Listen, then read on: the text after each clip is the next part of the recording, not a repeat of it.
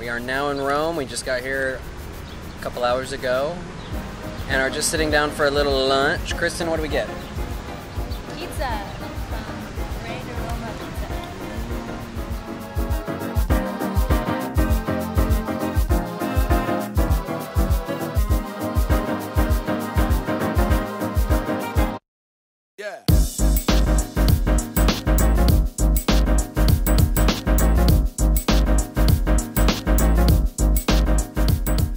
We're in the Pantheon here in Rome.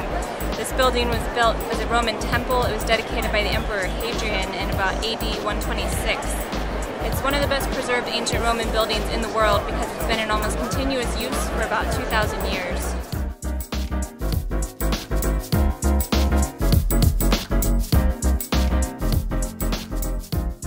We're in Piazza Navona. This is one of the most famous plazas in Rome. It was built on the site of a Roman stadium, so you look at this, the shape of the piazza, it's kind of in an oblong, and that's because that's the open space where the stadium would have been.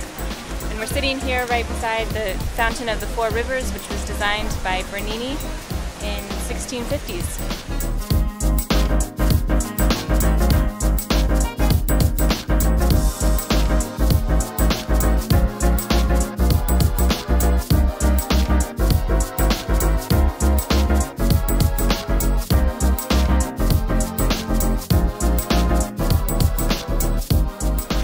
The Roman Forum. This is like the seat of ancient Roman political life. This is where the senators and the emperor would come to conduct their business. There were temples here. This, people were coming and going all the time.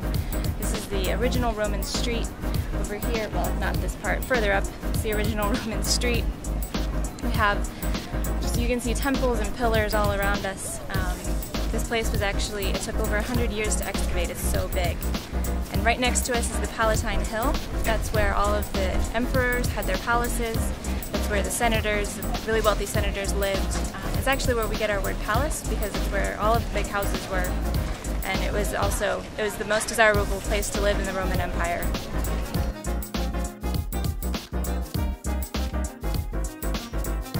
We're at the Colosseum.